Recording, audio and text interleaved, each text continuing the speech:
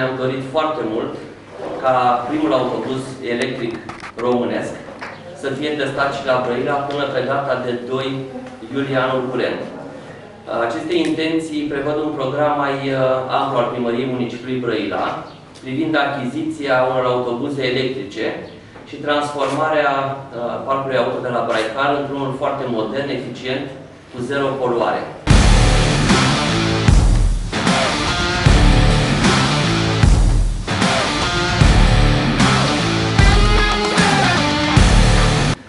Felicit uh, producătorii primului autobuz 100% românesc pentru că reprezintă o oportunitate atât pentru industria românească, dar mai ales pentru municipiile din România, să încurajeze tot ceea ce este produs în România.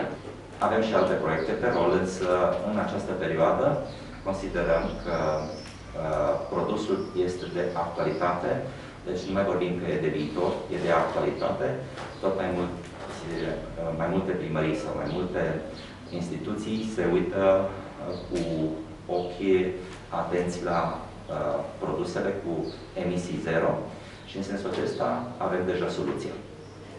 Mulțumesc frumos și sper să avem un rezultat uh, mai mult decât așteptările care sunt în privința aceasta. Să, să mulțumim cetățenii din Brăila și să vedem ce aduce viitorul. Succes! Uh, avem posibilitatea în această perioadă să testăm acest autobuz pe trasele din municipiul Brăila.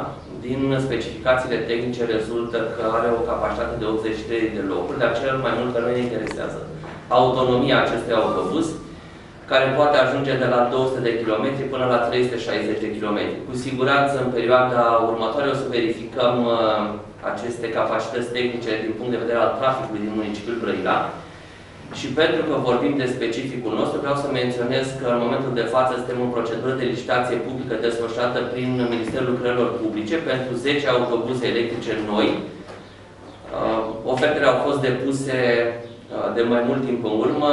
Nu vă pot da detalii privind uh, numele participanților la această licitație, deoarece este organizată de Ministerul Lucrărilor Publice.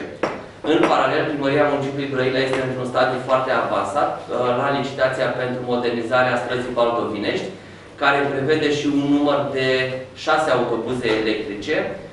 A fost semnat săptămâna trecută raportul procedurii privind desemnarea câștigătorului. Urmează perioada de contestații și apoi vom putea să semnăm contractul de finanțare.